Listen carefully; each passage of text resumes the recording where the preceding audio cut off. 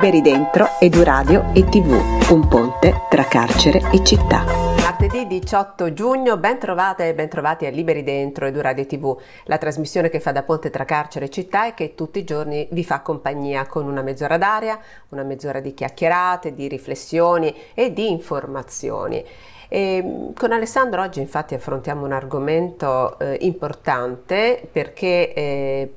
per fortuna eh, questa pratica è diffusa in molte carceri e andrebbe rinforzata. Parliamo dello sport, che non è soltanto lo sport da guardare seduti sulla poltrona, ma è anche quello attivo da fare nello spazio che si ha a disposizione e noi sappiamo che in carcere molte persone per fortuna si dedicano all'allenamento. Ma ti lascio subito la parola Alessandro così ci dici qualcosa in merito a un po' di soldini che sono stati stanziati eh, al terzo settore.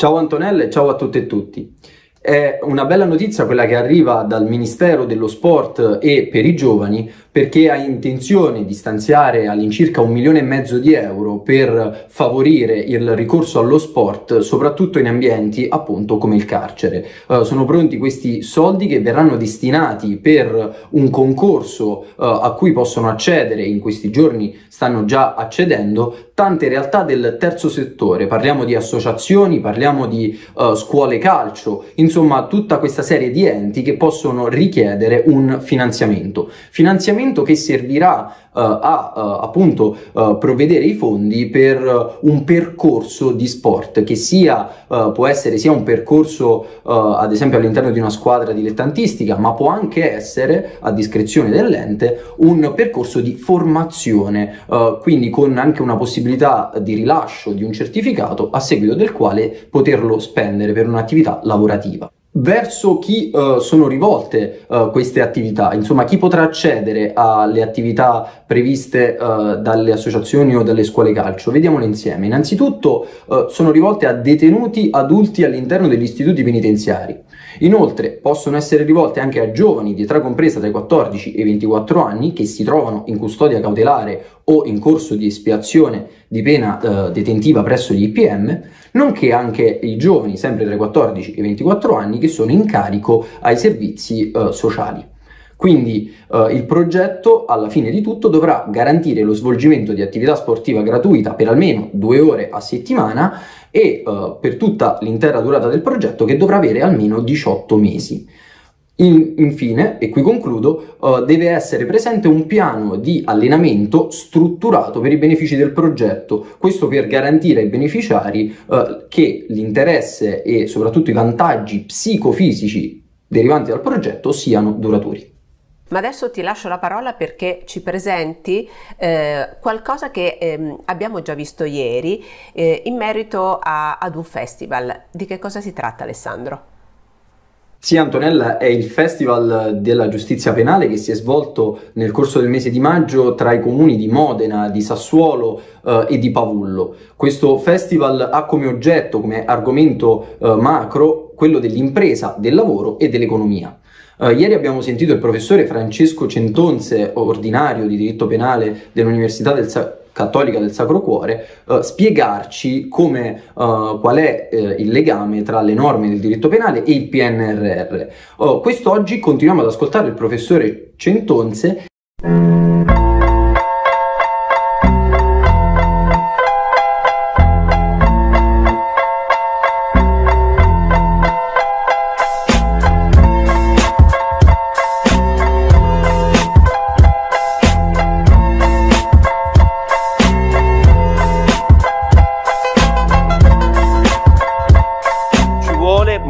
Impegno, molto sforzo anche creativo di immaginazione per immaginare soluzioni diverse. Dobbiamo immaginare soluzioni diverse tutte le volte che dobbiamo risolvere un problema. Ora, quale diritto penale? È chiaro che il tema è immenso, ho sei minuti credo, e quindi quale diritto penale per risolvere questi problemi eh, non posso affrontarlo in sei minuti, ma insomma è il diritto penale delle persone fisiche o il diritto penale delle persone giuridiche? È il diritto penale della pena carceraria o delle sanzioni interdittive? È il diritto penale della sanzione o il diritto, della, eh, o il diritto penale della premialità? Ecco, queste sono, diciamo, le grandi questioni. Ora,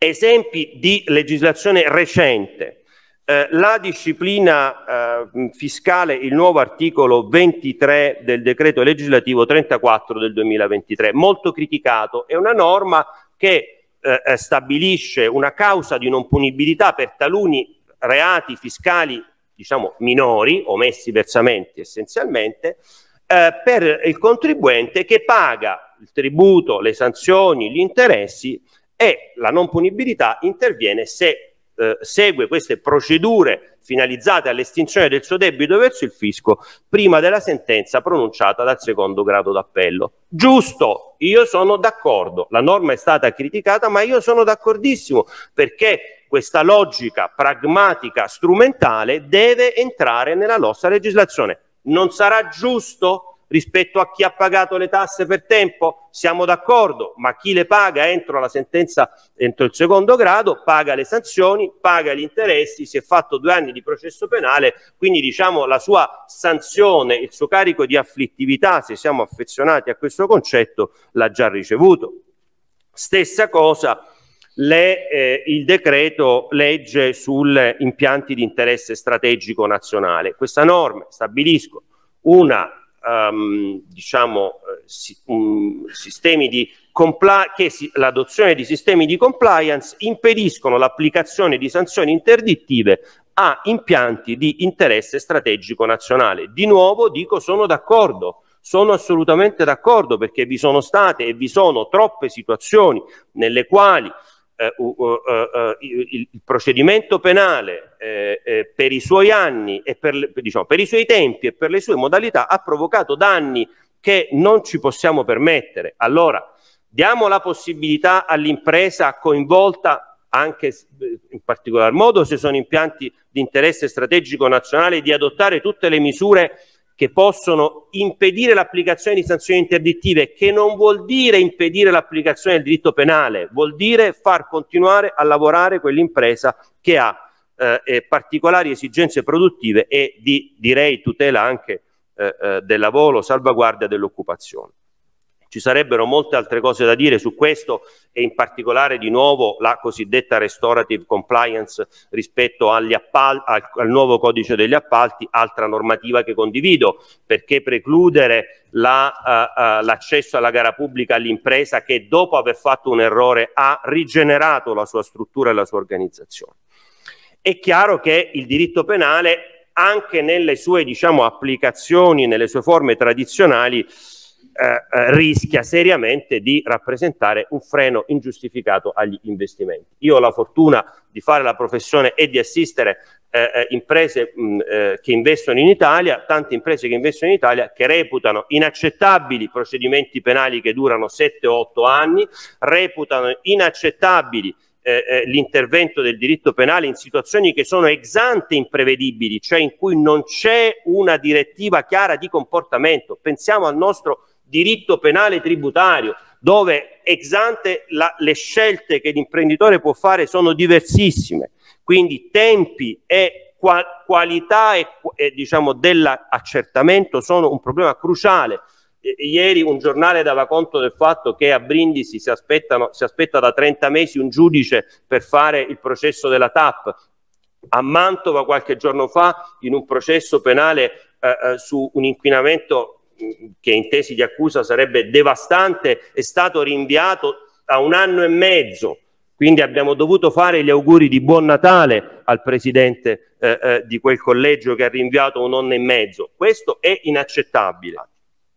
Ora, tutto questo non deve farci dimenticare, credo io, che ogni misura di sviluppo economico, tutto ciò che noi ci stiamo dicendo in queste giornate eh, di promozione, di, di, di, scusate, di sviluppo economico, di ripresa, eh, di investimenti, non ci deve far, credo, dimenticare una cosa, che alla fine l'esito del nostro ragionamento è sempre quello di una promozione dei diritti e delle, e delle libertà individuali, cioè voglio dire, tutte le misure economiche di cui noi stiamo discutendo non sono fini a se stesse, sono in rapporto alla promozione di libertà individuali. C'è un bellissimo discorso di Piero Calamandrei sull'articolo 3 della nostra Costituzione. La chiave è l'articolo 3 della nostra Costituzione. Calamandrei diceva è una norma che mira a una trasformazione di questa società perché anche quando ci sono libertà giuridiche, queste libertà giuridiche sono inutili in presenza di, una disuguaglianza, in presenza di disuguaglianze economiche e dell'impossibilità della persona di sviluppare le proprie prerogative nella società. E chiudo su questo tema, quindi ricordiamo che sempre sono come dire, abbiamo uno sguardo ulteriore rispetto a quello dello sviluppo economico. E eh, chiudo con eh, una citazione, eh, ehm, il Nobel Amartya Sen, il cui titolo del libro, non a caso, di una ventina d'anni fa, è Lo sviluppo è libertà. L'utilità della ricchezza sta nelle cose che ci permette di fare, nelle libertà sostanziali che ci aiuta a conseguire. Grazie. E rieccoci, rieccoci direttamente per passare ad un'intervista, una bella intervista realizzata da Alessandro Masella a Daria Bignardi. Eh, ve la rimandiamo perché Daria sta eh, presentando il suo libro Ogni prigione un'isola, è un libro denso, intenso e pieno della sua esperienza non soltanto di eh, volontaria carceraria ma anche proprio di persona con tutto diciamo, il suo vissuto. Eh, quindi vi, ve, lo riproponiamo proprio per eh, fare il focus su questo argomento anche con una voce diversa dalla nostra che il carcere lo conosce bene.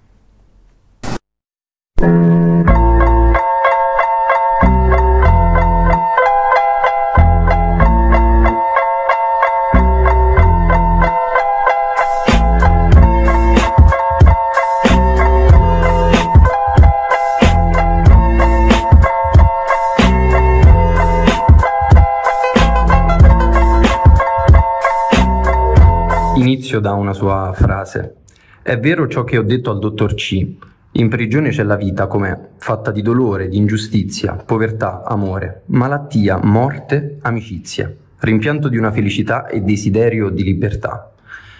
Può essere questa serie di parole una buona sintesi del titolo, ovvero Ogni prigione è un'isola, titolo che poi le ha suggerito un agente penitenziario se non sbaglio. Allora, lui intanto saluto tutti quelli che ci ascoltano. E, ehm, questo ispettore col quale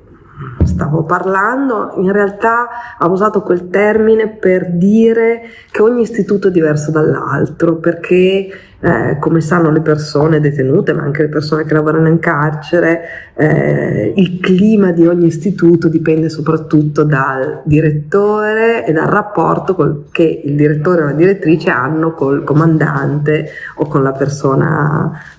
col, col comandante degli agenti, insomma, e questo questa relazione e il direttore danno il clima all'istituto. Io in realtà ho rubato questa frase perché conteneva tante delle cose che io sentivo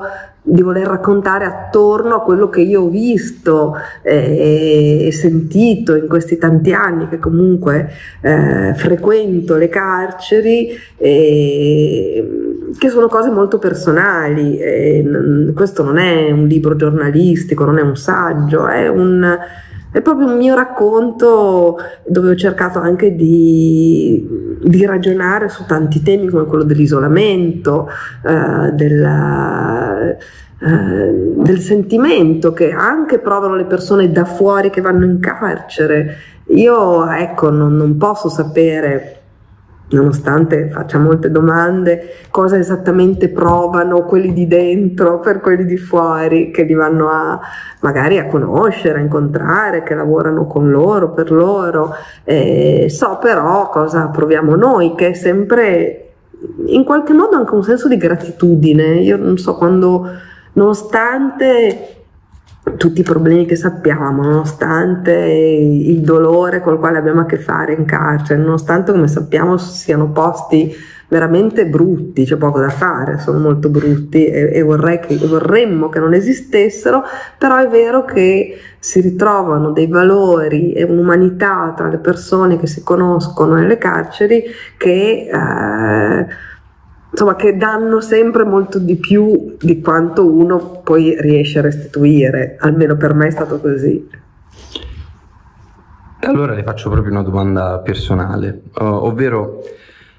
Dal, dalle pagine del suo libro sembra quasi che uh, sia stato più il carcere a scegliere lei invece che il contrario. Si rivede in questa frase e soprattutto, ricollegandosi a quello che lei ha appena detto, qual è il sentimento che prova quando parla del carcere? Eh, guarda, è esattamente come dici tu, anche se non, non, non, ci avevo mai pensato in maniera così chiara, è, è come se mi avessi scelto, e, e mm, come racconto mm, da sempre, perché io appunto ho cominciato ad avere familiarità con l'idea di carcere da quando ero bambina a Ferrara, andavo tutti i pomeriggi da un'amica che abitava di fianco al carcere di via Piangipane, che adesso non è più in via Piangipane, ma insomma, e, e, e il maestro ci diceva ah, nel nostro carcere è stato rinchiuso Giorgio Bassani. E io che ero una bambina però sapevo già che Giorgio Bassani era il più grande scrittore ferrarese. Mi dicevo ma come mai uno scrittore così importante, così bravo sarà stato in carcere. Poi oh, ho capito, mi hanno spiegato che era eh, un antifascista e che era in carcere per, per, questi motivi. E poi tante altre esperienze, piccole, grandi. Poi mi sono ritrovata eh, a, a, a, lavorarci, ad andarci spesso, ad entrarci per tanti progetti, piccoli, grandi, che ho seguito in tante carceri, soprattutto nel carcere di San Vittore, dove tra l'altro eh, al quale tra l'altro io abito accanto da ormai più di vent'anni. Quindi, come dici tu, in effetti è proprio come se avesse deciso lui. Poi mi è anche capitato eh, un incontro, devo dire bellissimo, importantissimo con il mio ex suocero Adriano Sofri, che è anche mio carissimo e grande amico, oltre che il nonno dei, dei miei figli, e, e, quindi ho fatto anche l'esperienza di parente di, di, detenuto, questo già molti anni dopo che andavo in carcere da, eh, diciamo così, volontaria. Però l'esperienza del parlatorio non l'avevo mai fatta prima e anche quella è un'esperienza particolare. Quindi sì, per tanti motivi, adesso mi manca solo l'esperienza della detenuta, che spero di non fare, ma chissà, come sappiamo in carcere può finire chiunque e quindi eh, chissà se farò anche quella. Ecco, uh, proprio in relazione a, alla corrispondenza con Adriano Sofri, uh, diciamo che lei nel suo libro fa emergere la sua visione sulla criminalità, ovvero che la criminalità più che una scelta uh, consapevole è una risultante delle condizioni sociali, uh, culturali di una persona, quindi dal contesto. Invece da contraltare fa la voce di Adriano, che possiamo racchiudere nel, nella frase del Vangelo secondo Giovanni, ovvero gli uomini scelsero piuttosto le tenebre che la luce. Beh, allora questa frase che ha citato Adriano eh, eh, la citava perché comunque eh, sua, nel suo grande rigore, nella sua grande dignità, lui ci tiene a, a, a rivendicare il, il, libero arbitrio eh, di ogni persona, comprese le persone detenute. Quindi il tema della responsabilità e della scelta probabilmente più di quanto possa fare io eh, che ne ho una visione naturalmente da, da, esterna. Poi io credo che siano vere entrambe le cose anzi tutte e tre le cose ovvero che l'uomo eh, che può scegliere eh, tra luce e, e tenebre sceglie le tenebre anche perché sono più interessanti a volte, no, questo lo dico in senso lato, non sto parlando del crimine, ehm, però sappiamo tutti che il, il male può avere un'attrazione soprattutto quando siamo giovani, no? perché ci, ci, ci, insegna delle cose, ci comunica delle cose della vita che magari il bene non riesce a comunicare, quindi fa parte anche di una formazione esistenziale delle persone. Diciamo che io eh, mi limito a eh, constatare che eh, vedo e ho visto e so di persone eh, detenute che avevano magari famiglie eh, che a loro volta erano famiglie criminali o famiglie in difficoltà o che magari non hanno avuto o un'attenzione o un'istruzione o una sicurezza economica, cioè in generale ho conosciuto molte persone che venivano da, eh, da situazioni eh, certamente non protette, cioè è più difficile in carcere trovare persone eh, benestanti, istruite, eh, che hanno avuto infanzie protette. Poi naturalmente ci sono anche quelle, ma come tutti sanno sono una, eh, sono una minoranza.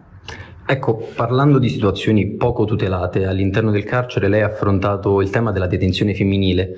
e uh, giustamente lo ha fatto sottolineando come il carcere sia una struttura pensata per gli uomini.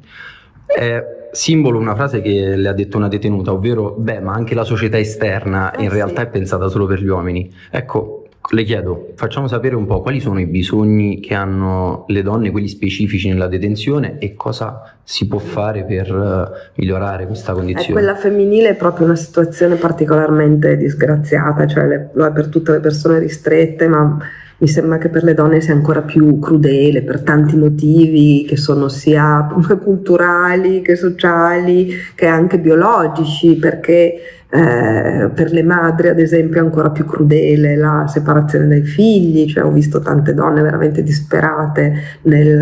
eh, nell'essere tenute lontane dai propri figli, in più eh, come eh, si sa eh, è più facile che un, un, uomo abbia fuori una persona che si prende cura di lui, che può essere una madre, una sorella, una fidanzata, una moglie, una compagna, di quanto una donna può avere un, un, compagno che si prende cura di lei. E,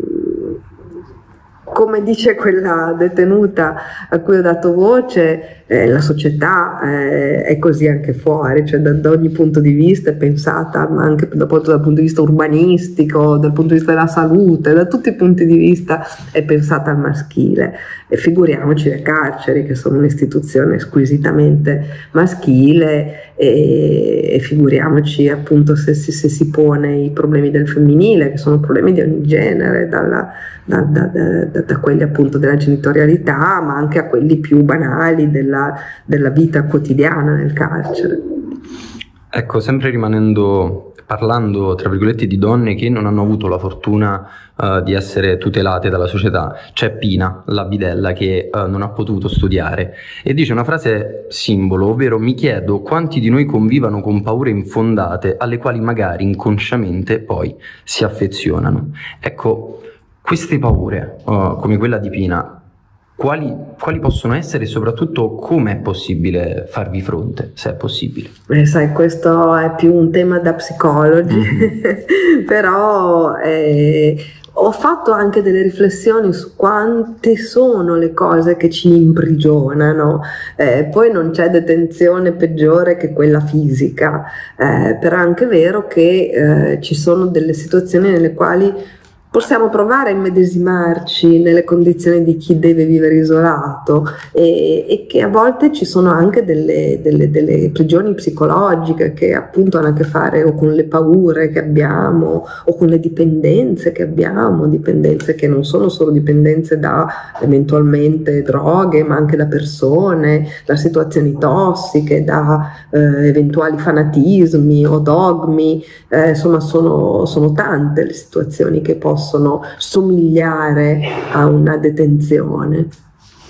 Eh, le chiedo una parola, un pensiero sul ruolo degli agenti penitenziari, che nel suo libro viene tracciato, io credo molto bene, uh, l'ambivalenza delle possibilità, ovvero ci sono agenti che sono sostanzialmente importantissimi per la macchina amministrativa e penitenziaria e salvano vite e diventano anche psicologi, compagni in certe situazioni. E altre volte invece agenti che, che invece fanno tutto l'opposto e quindi si lasciano andare a impulsi di aggressività, di difficoltà. Cosa possiamo dire? Mi sembra veramente un lavoro delicatissimo, durissimo e molto difficile, eh, per il quale servirebbe eh, se non una vocazione che sarebbe la cosa migliore, no? come in tutta una serie di lavori delicatissimi, importanti, come so, il lavoro dell'insegnante, ma anche quello dell'agente di polizia penitenziaria, però se non si può pretendere la vocazione sarebbe bello poter offrire a chi fa questo lavoro così duro